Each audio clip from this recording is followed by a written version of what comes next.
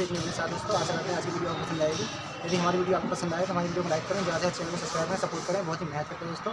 आपके लिए वीडियो लेकर आते हैं। चलिए दोस्तों, वीडियो शुरू करते हैं। आज हम आपको बताएँगे इसकी चुनाई किस प्रकार से करनी चाहिए और कैसे करनी चाहिए। कुछ नई मिस्त्री भाई हमारे पुराने मिस्त्री से पीछे रह जाती हैं तो उनके लिए हम एक, उनके लिए बताएँगे आज हम किस प्रकार से स्पीड से चुनाई करें और उनके बराबर कट्टे चले जाएँ। चलिए दोस्तों लंबा लंबा मसाला खड़ा है। देखो।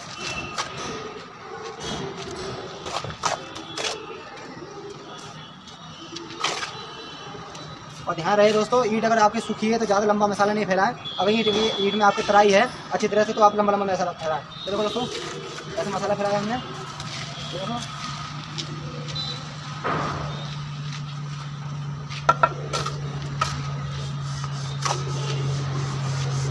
Thank you.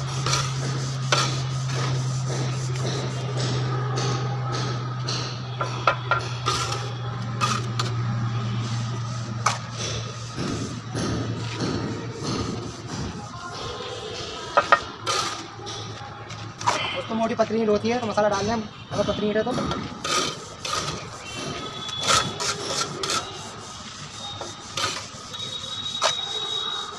पतली ईट हमारी।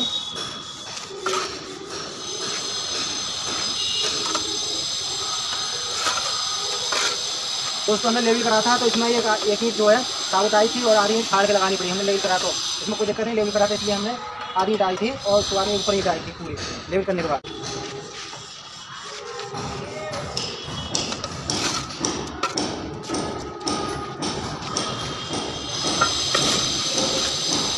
ये देख रहे हैं दोस्तों, जैन पे जैन आई है, यहाँ पे भी जैन पे जैन आई है, किस कारण आई है आपको बताएँ यहाँ से आधी ईट लगी हुई कट गए और ये पूरी ईट लगी हुई है तो हमने लेवल करा था, इसलिए जैन पे जैन आ गई और चाल नहीं बन गई थी।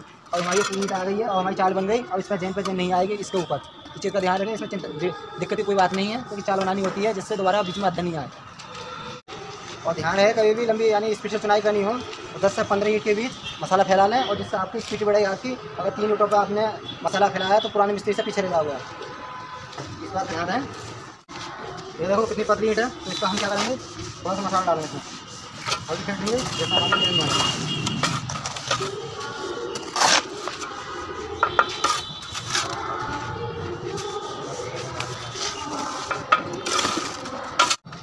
इस प्रकार से हमने आपको बताया, लंबा लंबा, दस से बारह मिनट का मसाला बिछा लें आप, और आप इस चीज़ का ध्यान रहें। गीली ईट होनी चाहिए, ज़्यादा गीली भी नहीं हो अगर सूखी ईट पर आपने मसाला लंबा फैलाया तो आपकी जो मसाला है, सूख जाएगा और आपको ये बैठेगी नहीं और ऊँची नीचे लगेगी। इस चीज़ का ध्यान रहे।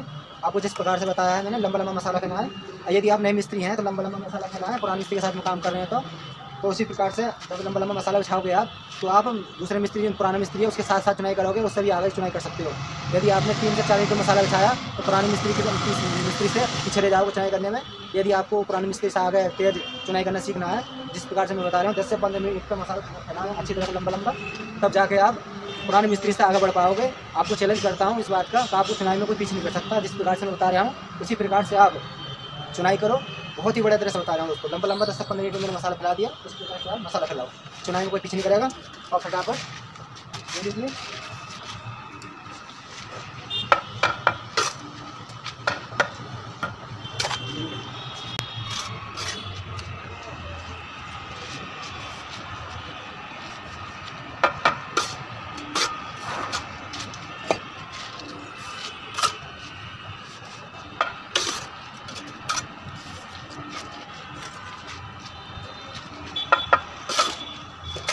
सबसे मोटी पत्नी है।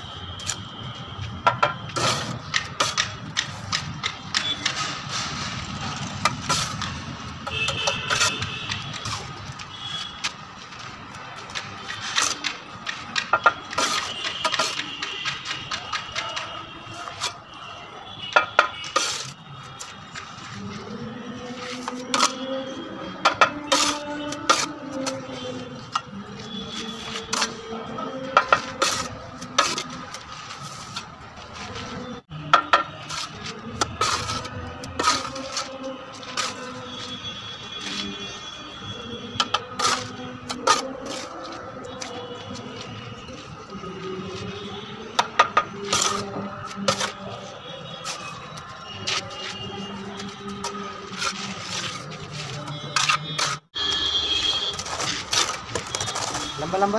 करता हूँ दोस्तों, नए मिस्त्री भाइयों, आप पुराने मिस्त्री से हमेशा तेज़ी चुनाई करोगे, जिस प्रकार से मैं बता रहा हूँ, उस प्रकार से करो। दस से पंद्रह मिनट का मसाला बिछाएँ और उसके पश्चात आप चुनाई करें ध्यान रहे, गिली होनी चाहिए और ज़्यादा गिली भी नहीं होगा, ज़्यादा सूखी भी नहीं होनी चाहिए। इस बात को आप ध्यान रखो, बड़े तरह से। जैसे मैं बता रहा हूँ, उस प्रकार से करो, हमेशा आगे चलोगे तेज चलोगे।